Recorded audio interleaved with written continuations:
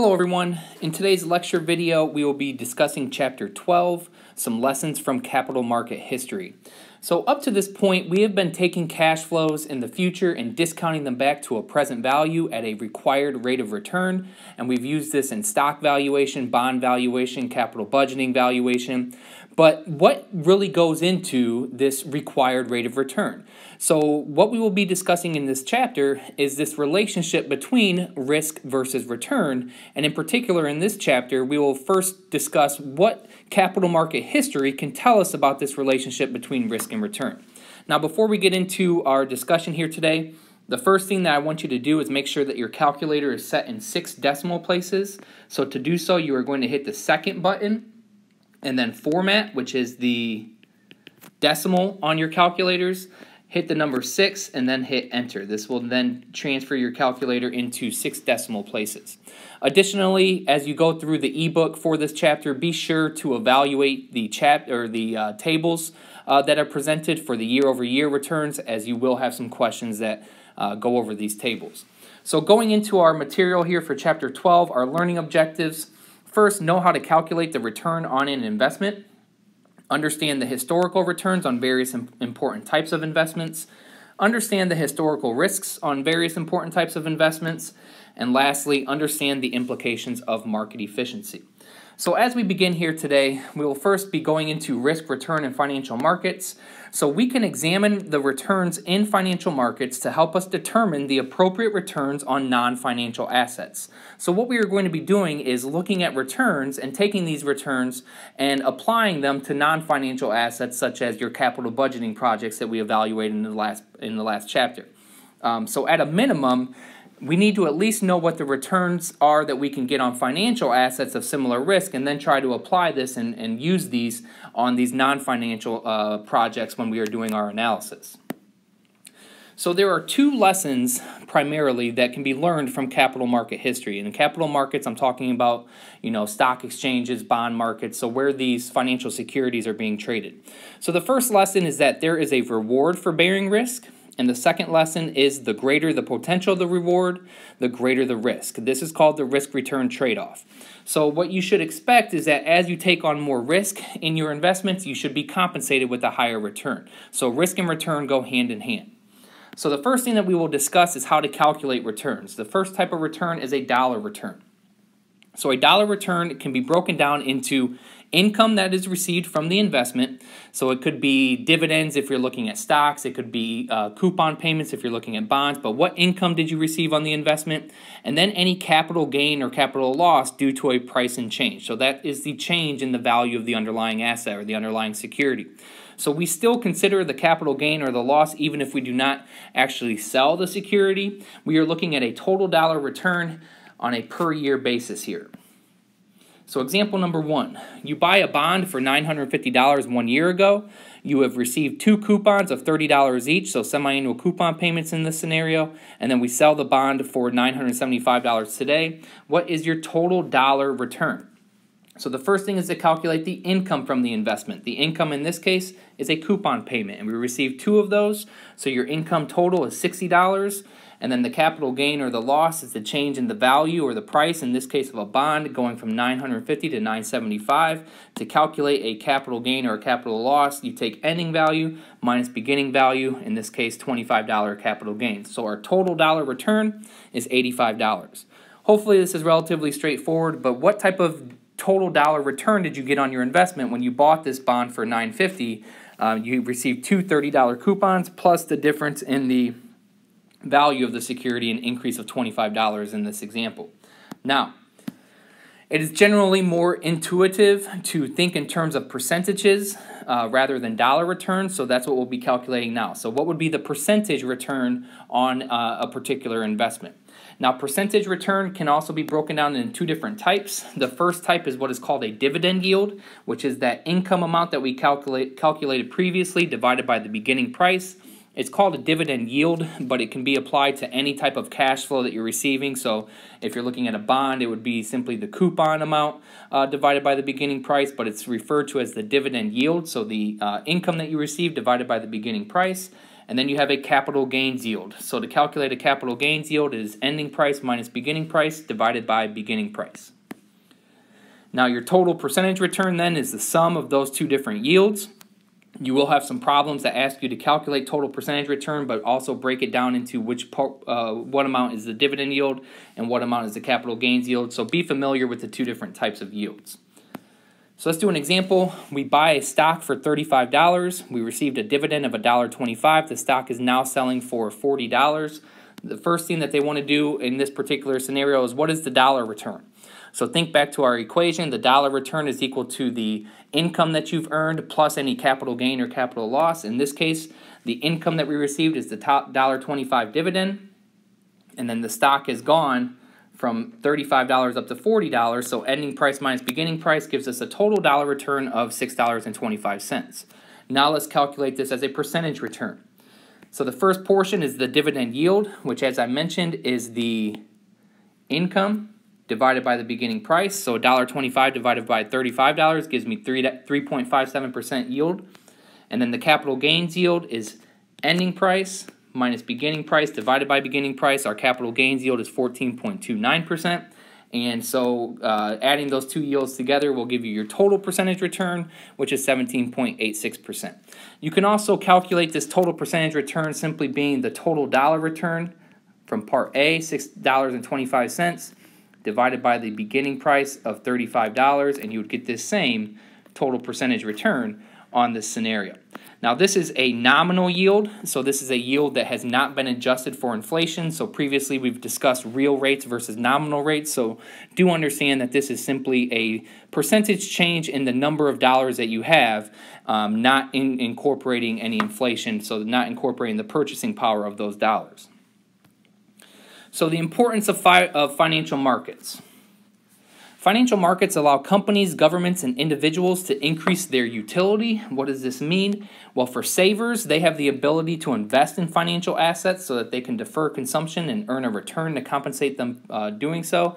So, as a saver, you're not utilizing your funds, so you can go ahead and invest in different types of securities such as stocks and bonds. So, financial markets provide you this means of being able to do this. And then borrowers, so your corporations, your government entities, they have better access to, uh, to the capital that is available from these savers so that they can then invest in those productive assets which generate cash flows for their, uh, for their companies. So these financial markets are a means of bringing together the buyers and the savers, so the borrowers and the savers. Um, and so the importance of these financial markets is, is being able to increase the utility of these different types of uh, savers and borrowers. Now, financial markets also provide us with information about returns that are required for various levels of risk. So, now what we'll turn our discussion to is looking at these returns um, and risk levels of these different types of securities that are traded on these financial markets. We are going to focus on five important types of financial investments. The first is large company stocks. So, these can also be referred to as large cap stocks and this portfolio that we're evaluating here is based on the S&P 500 index which contains 500 of the largest companies in terms of total market value of outstanding stock in the United States. Now large cap stocks will have a market cap of greater than 10 billion dollars and this is our first uh, type of security that we are evaluating in this particular chapter. The second type are small company stocks. So this portfolio is composed of the stock corresponding to the smallest 20% of the companies listed on the New York Stock Exchange in terms of total market value of their outstanding stock. And these are also referred to as small cap stocks. And for this scenario, small cap stocks have a market capitalization between 300 million and 2 billion dollars. We will also be looking at long-term corporate bonds. So these are based on high-quality bonds with 20 years until maturity. Remember from our bond discussion that high-quality bonds are your investment grade bonds. So triple B and up uh, bonds are what are included in this long-term corporate bonds category. The next category are long-term government bonds, so based on U.S. government bonds with 20 years to maturity. And last are U.S. Treasury bills. In particular, we are focusing on Treasury bills with a one-month maturity. So these are the five different categories that we will be evaluating here in this chapter. Obviously, there's a lot of other types of financial investments, but we have broken down our analysis into these five categories. And what we'll do next is look at the difference, uh, the different returns and risk levels of these uh, securities um, over about an 80, uh, 88 year time period. So here let's look at a $1 investment in these five different types of uh, portfolios over an 88 year period from 1925 to 2013. As you can see here, uh, small company stocks, a $1 investment would have grown to $33,214.15. Large company stocks, a $1 investment over the 88 years would have grown to $6,029.16. And you can see the other ones. So you may ask the question, why doesn't everyone just invest in small company stocks then? They have the greatest return. Well, they also have the greatest risk. And we'll showcase that here more, but just looking at this chart visually, if you would have invested just in small company stocks for this time period here of about 1967 to 1975, you can see that you would have actually lost value in your investment. Whereas with long term government bonds, you would have actually had an increase in the value of your investment. So, why doesn't everyone just invest in small cap stocks? Well, they do have erratic growth, and you may prefer more steady growth depending on your investment uh, desires. Looking at the average returns over this 88 year period, you can see the average return for large company stocks has been 12%, 16.6% for small company stocks, 6.3% for long term corporate bonds, and so forth. This is a year over year average. This is what is called an arithmetic average. So they're adding up each of the years and dividing, they're adding up each of the year's returns and dividing by the number of years. Uh, we'll discuss what an arithmetic average is here uh, upcoming in this uh, presentation. But this is an average return over this 88 year period of those five different categories of investments. Next, we will introduce a risk premium. So, the risk premium is the extra return earned for taking on some amount of risk. We say that treasury bills are considered to be risk free investments. Why are treasury bills considered to be risk free investments? Well, they are, are federal government securities of one month. Uh, the thought is that the federal government will always be able to repay their balances or make their interest obligations. Um, at a minimum, we would expect them to be able to raise taxes to pay off their debts. So we consider treasury bills, those one month securities, to be risk free investments. Now, the risk premium then is the excess return required from an investment in a risky asset, such as a large cap stock or a small cap stock, over that required from a risk free investment. So the return on that security, we'll call that security A here, minus whatever that risk free rate, that is the definition of a risk premium. So, looking at the average risk premium over this 88 year period of our five different types of investments, you can see here that large company stocks have a risk premium of 8.6. To get this, what they did was they took the average return of 12% and then subtracted the average return on the risk free investment, which was 3.4% on treasury bills, to get the risk premium. And they did the same thing for each of these to calculate the risk premium for these different types of investments.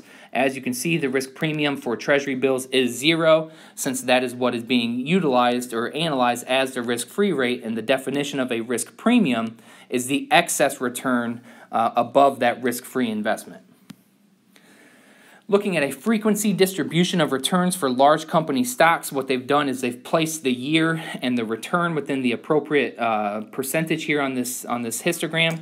Um, you can see the majority of the returns have occurred between uh, 10 and 20 percent.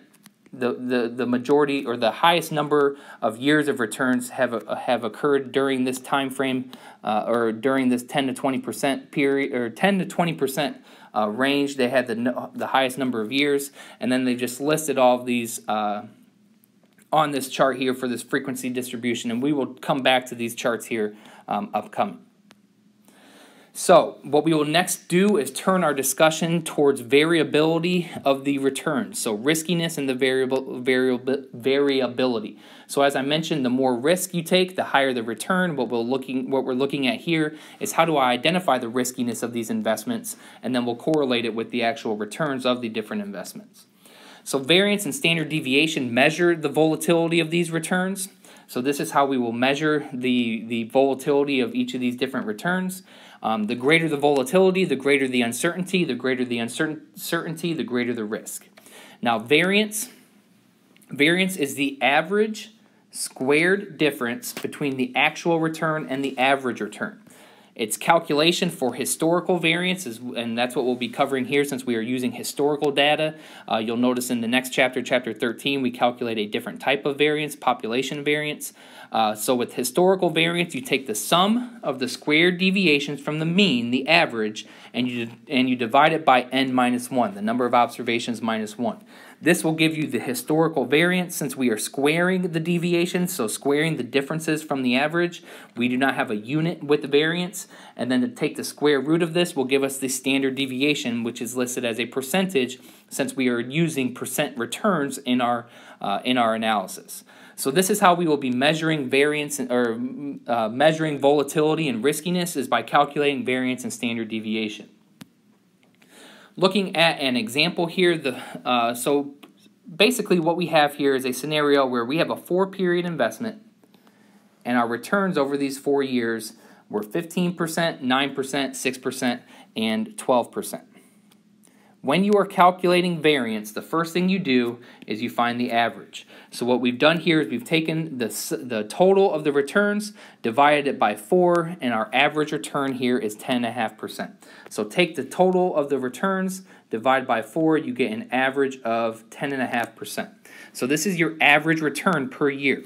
So here in our next column, we have our average return each period. The deviation from the mean is going to be the actual return that period minus the average return, and in this case, the difference in this first year was 4.5%. In the second year, we took 9% minus 10.5%. We actually performed under the average by 1.5%. In the third year, we performed under the average by 4.5%. And in year four, we performed above the average by 1.5%. So these are your deviations from the mean. Variance is the sum of the squared deviations. So take these values and square them, and we get our squared deviations. Add these all together, and we have the sum of our squared deviations from the mean. Now to calculate historical variance, you take this value, the sum of the square deviations from the mean, 0.0045, and you divide it by n minus 1. N was 4 since there's 4 years of, of, of data. Minus 1 gives us a variance of 0.0015.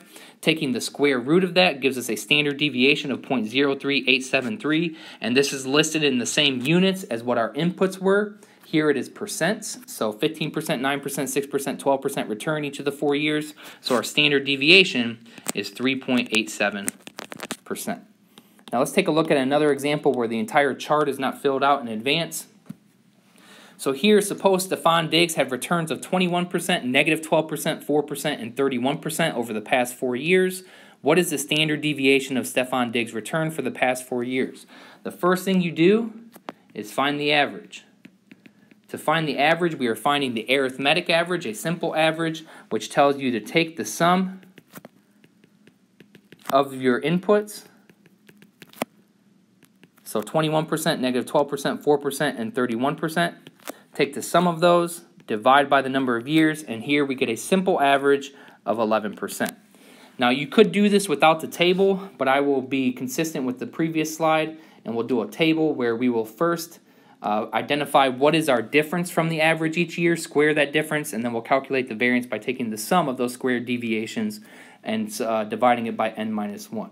So here we have year 1, 2, 3, and 4. In year 1, we had a return of 21%. Um, year 2, we had a return of negative 12%. In year 3, we had a return of 4%. And in year 4, we had a return of 31%. The average return each year was 11%. So this is the uh, annual return. This is the average return, which we just calculated. Now the difference here would be 10%. This one would be negative 12 minus, uh, we're, what we're doing here is we're subtracting the average from each of these. So negative 12% minus 1 is a negative 23% difference from that year in the average. Uh, 4% minus 11% gives us a negative 7%. And then in year four, that would be a 20% above average performance in that particular year. So these this value or this column here, if you're creating the columns for your calculations, this column should add up to zero because this, this is the deviations from the mean. Uh, we use those inputs as our average to calculate the average, so the, the sum of these differences should be equal to zero. And so then to calculate variances, the sum of the squared deviations from the mean. So take that 0.1 and square it, and you get 0.01. Take that negative 0.23 and square it, you get 0.0529. Take the 0.07 negative and square it, you get 0.04. And then take the, or 0.0049, sorry, got a step ahead of myself. and then take that 0.2 and square it and you get 0.04 and so the sum of the square deviations from the mean the sum is just simply adding them together. The sum of the square deviations from the mean is 0.1078. And you can see that I've taken this difference, and just to be clear here, I've taken this difference. I prefer always working with decimals as opposed to percentages. So I took 0.1 and squared it. I took negative 0.23 and squared it. I took negative 0.07 and squared it. I took 0.2 and squared it. That's how I got my squared deviations. I get the sum of the squared deviations from the mean. And so the variance then is this sum of the squared deviations from the mean divided by n minus 1. And in this case, our n is 4, 4 years of data. So 4 minus 1 will give us a variance of 0.0359. The standard deviation then is the square root of your variance, which gives us a value of 0.18 0.96 or 18.96%. And this will come into play uh, later on in our discussion when we talk about how we can use this uh, standard deviation to, um, to assess normal distribution and, and probabilities of, of particular outcomes. Now, one thing that I forgot to mention uh, with variance, this is notated by sigma squared, and standard deviation is notated by sigma. Uh, so you may see those uh, those notations as opposed to variance and standard deviation written out, but these are the uh, notations for variance and standard deviation respectively. Now, as these values become higher, that means more volatility, more risk, you should expect a higher return based on this risk-return trade-off. Now, continuing on, why this uh, variance and standard deviation, again, is also important. Uh, let's look at the historical returns, the standard deviation, and the frequency distributions over these securities from 1926 to 2016. So now we're dealing with 90 years of data. And just looking at these, as we mentioned at the very beginning, we have a risk return trade off the greater the risk, the higher the return. The greater the risk, the higher the return. Um, so as you can see here, as your standard deviation, our measure of risk, as it increases, that is where we get our higher returns. Those that have less volatility, less standard deviation, those are the ones with the smaller returns uh, with this risk-return trade-off here. So continuing on with an introduction into normal distribution. So the normal distribution is useful for describing the probability of ending in a given range. So what is normal distribution?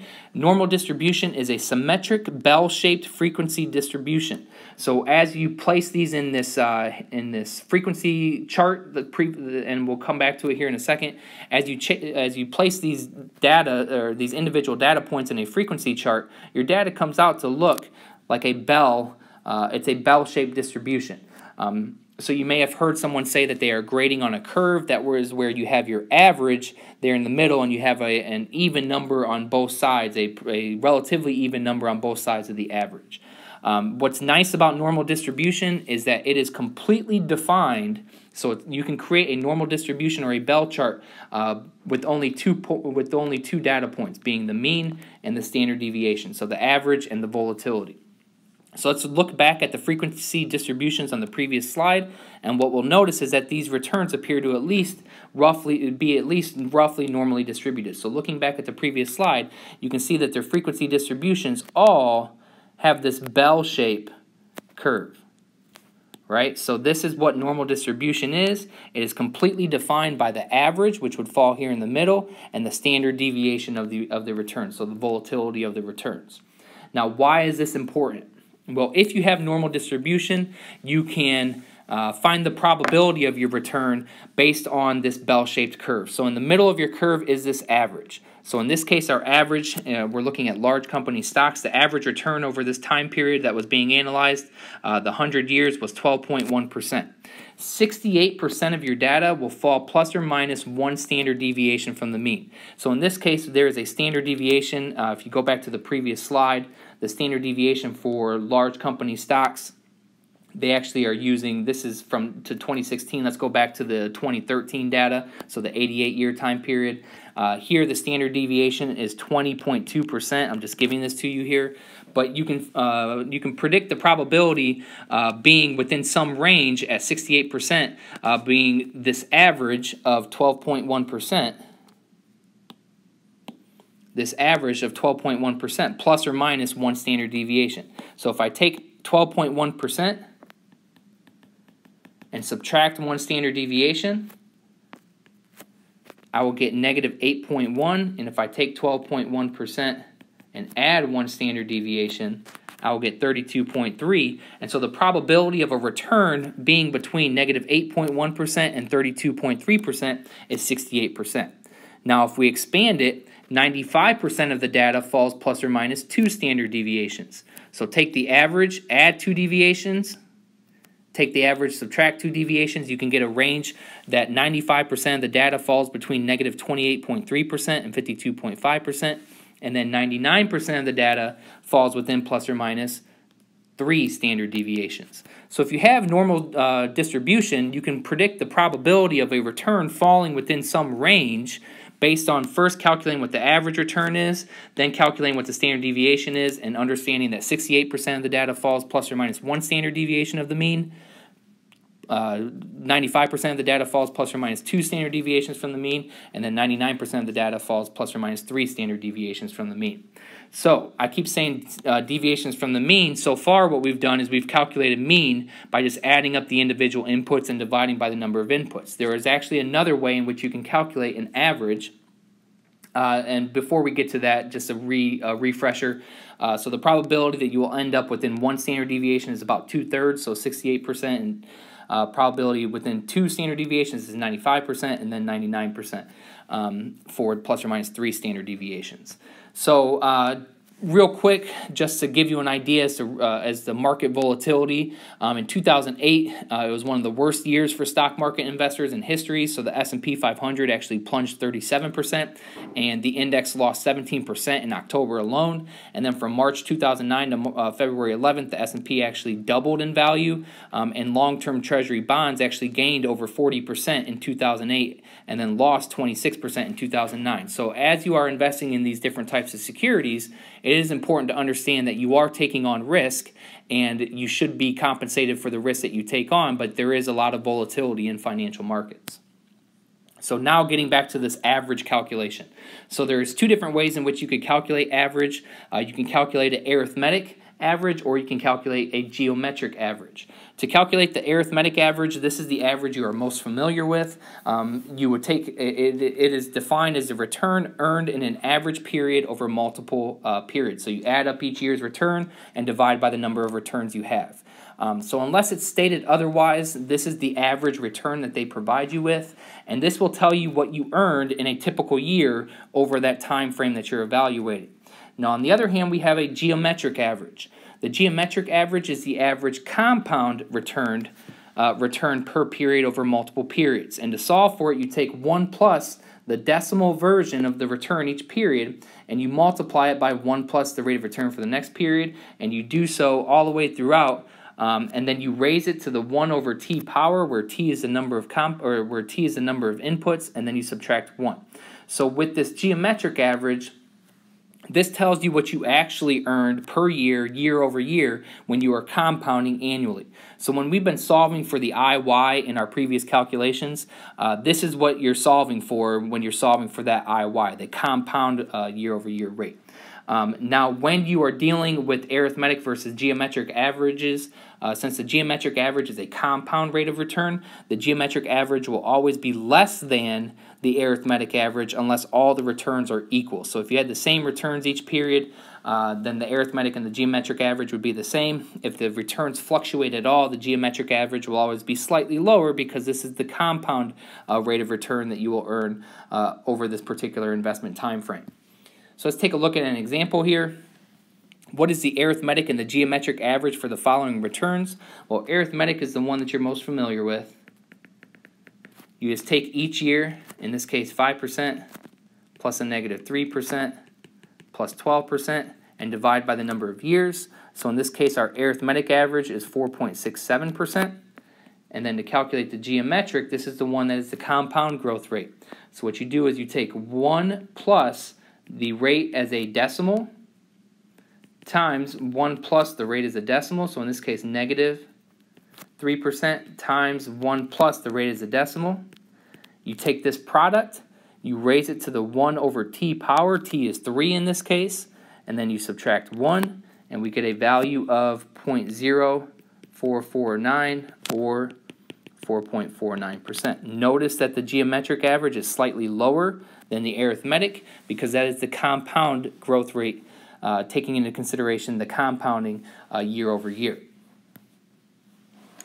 Sorry, I have the, the uh, equations there in the PowerPoint for those of you that would like to reference that there. So we will finish our discussion here talking about efficient capital markets. So this is a deep look into efficient, not a deep look, but a discussion into efficient capital markets. What are they? So an efficient capital market is a market in which the security prices reflect available information.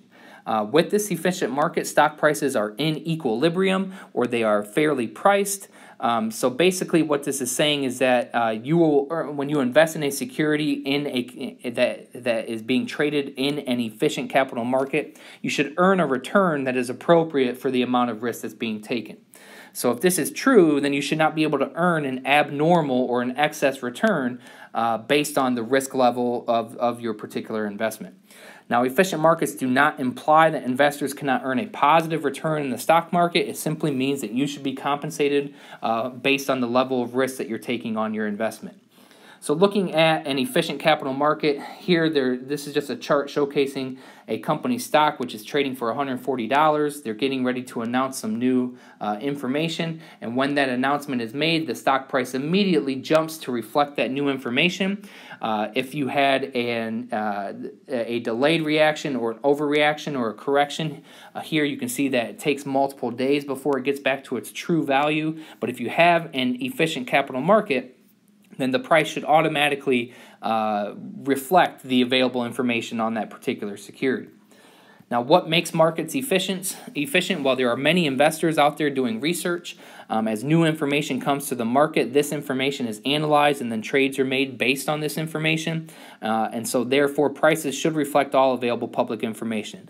It takes milliseconds for new information to be incorporated um, into a securities price. Um, as these new investors are doing their research and trying to identify these uh, buy or sell uh, investments, any new information that comes out about the company should be reflected in that company's uh, valuation. Now, if investors stopped researching these stocks, then the market would not be efficient. Um, but it is due to these investors uh, putting into or putting forth this this type of um, research that results in the efficiency uh, results in these prices being efficiently priced. Some common misconceptions about the efficient market hypothesis. Well, what is the efficient market hypothesis? This is the hypothesis that actual capital markets, such as the New York Stock Exchange, are indeed efficient. So there's no arbitrage opportunities. Arbitrage is a risk free um, return, so you're not able to earn a return without taking risk due to mispricing of securities. Now, as I mentioned previously, efficient markets do not mean that you cannot make money. It just simply means that on average, you will earn a return that is appropriate for the risk undertaken, and there is not a bias in prices that can be exploited to earn excess returns. So, if you think back to our five different types of investments, you should be compensated greater to take a risk on large or on small cap stocks since there's more volatility, more risk measured by standard deviation than you should for government bonds, for example. Less risk, less return. This goes back to our risk return trade off, where if you have efficient capital markets, you should earn a return that is appropriate for the amount of risk that you're taking on that particular investment. So, market efficiency will still not protect you from wrong choices. If you do not diversify, you still don't want to put all your eggs in one basket.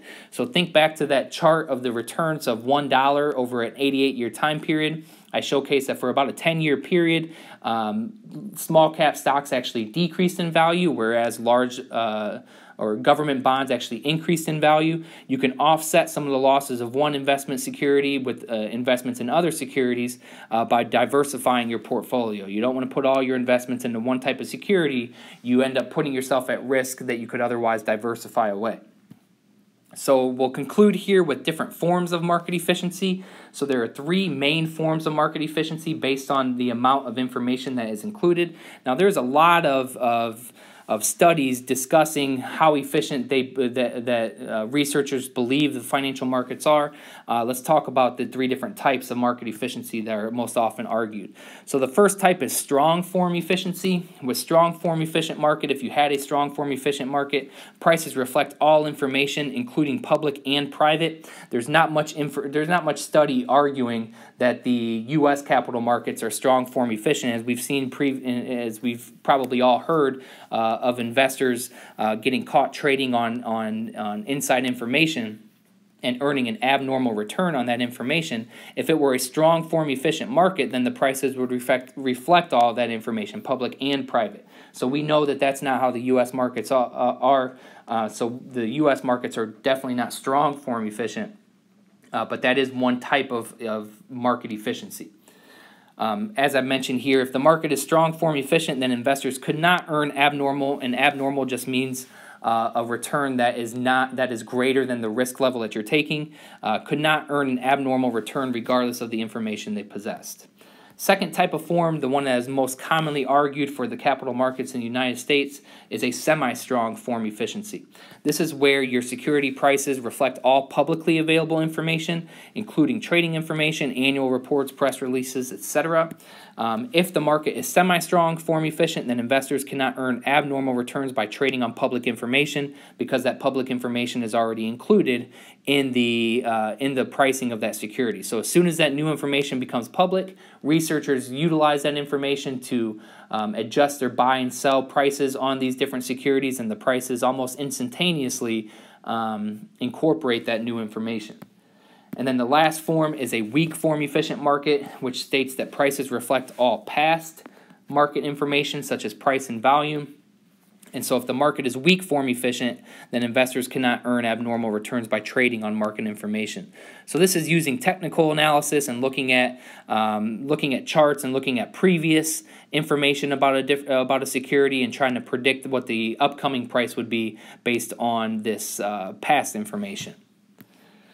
So to conclude, we will look at a quick quiz. Uh, which of the following invest or which of the investments that we discussed has had the highest average return and risk premium? This would have been your small cap stocks. So the highest average return, but also the most risk above the risk-free investment would, was your small cap stocks. And then which of the investments discussed had the highest standard deviation? Once again, small cap stocks. Higher risk measured by standard deviation, higher return, that risk-return trade-off. What is capital market efficiency? Uh, capital market efficiency is that security prices are accurately priced based on available information. And then what are the three forms of market efficiency? You have strong form, semi-strong form, and weak form. Uh, depending on the form would be uh, the argument of how much information goes into the pricing of a security. And so wrapping up with one last comprehensive problem, let's say your stock investment returns over a three-year period are 8%, 12%, and negative 4%. What is the geometric return? Well, we know the arithmetic return is just add the 3 up and divide by, by 3. The geometric return says you take 1 plus that rate of return, multiplied by 1 plus the next, next rate of return, multiplied by 1 plus the next rate of return. We take that product, we raise it to the 1 over t power, which in this case is 3, 3 years of returns, and then we subtract 1, we get a geometric average of 0.0511 or 5.11%. Now they want us to calcul calculate what is the sample standard deviation of the above returns. When you are calculating standard deviation, you use the arithmetic average. So the first thing is to calculate the mean. The mean would be simply 8% plus 12% plus a negative 4%. Take that sum, divide by the number of inputs, we get a mean of 0.0533. Notice that this is slightly higher than the geometric average, just like we discussed previously. The geometric average will always be slightly less, that is the compound rate of return, than what your arithmetic is. Now to calculate the variance, Previously, I made that chart that showcased each year's return, what the average return is, what was the difference, and then what was the uh, squared difference, added those up, and then divided by n minus 1. I'm going to simplify things here a little bit. So variance, by definition, just hear out the definition, uh, is the sum, so the adding of the squared deviations from the mean. So we take the year one return, how much did it deviate from the average, and we square that deviation, and we do that for each year. So take the second year's return, how much did it deviate from the average, square that return. Take the third year's return, negative 4%, how much did it deviate from the average, and square that return. So the sum of the squared deviations from the mean divided by n minus 1. So n minus 1, n is 3 years of returns minus 1. We get a variance of 0.00693. Once again, this can be notated as sigma squared. The standard deviation then, represented by sigma, is simply the square root of this value. So we get a standard deviation of 0.0833 or 8.33%. Now, using this standard deviation and mean, uh, and assuming normal probability distribution, what is the probability of losing 3% or more? So if we have normal distribution, we have this bell-shaped curve completely defined by the mean, the average, and standard deviation. Here in the center is the average. Our average return was 5.33%. Normal distribution says that 68% of the 68% uh, of the data will fall plus or minus one standard deviation of the mean. So take that average, add one standard deviation that we just calculated. And so the upper bound of our 68% uh, probability range would be 13.66%. Take our average, subtract one standard deviation, and the lower bound of our mean is negative 3%.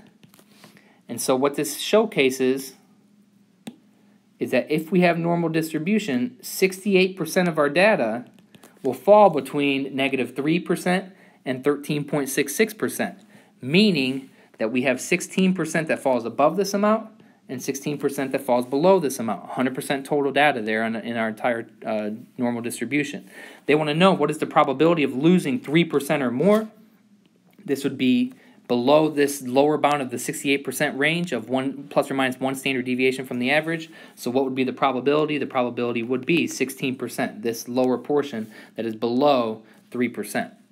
So that concludes our uh, lecture video here for chapter 12 uh, looking at some capital market history and the returns that we could earn on financial securities and the riskiness of those securities. And then if we can apply those returns on the financial assets to non financial assets, such as a capital budgeting project, this is a way that you can get that required rate of return that you would use as your uh, discount rate when valuing these future cash flows. So good luck. Um, if you have any questions, don't hesitate to reach out, and I will talk to you all soon. Thanks. Bye.